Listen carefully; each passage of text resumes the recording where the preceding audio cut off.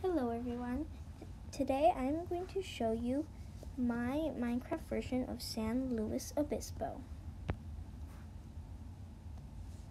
So this is the front view of the mission as you can see and all the way up here near the roof is the date of when San Luis Obispo was made.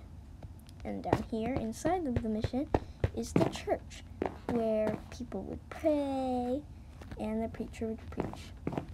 And right here, behind each chair, is a pocket where they would hold their Bibles. And right here is the pictures of Jesus and God.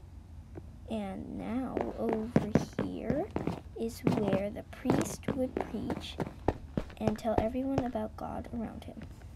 And now over here is the graveyard where they may bury some people who were kind and very important to them or other things.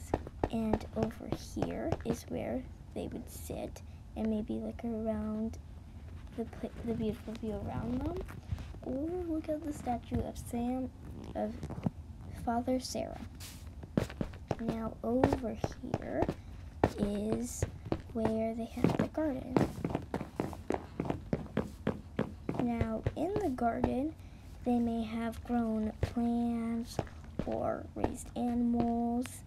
And right here is a water fountain. Now, over here is the Padres' quarters, where the Padres would sleep and spend some of their time.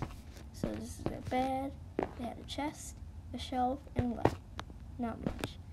And right here, they had a little balcony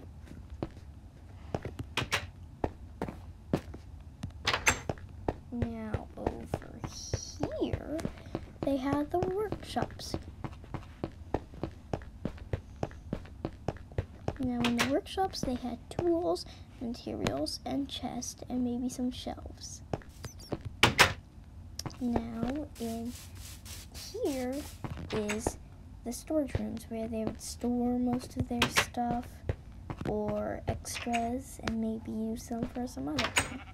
Now I'm going to show you the bird eye view of my mission.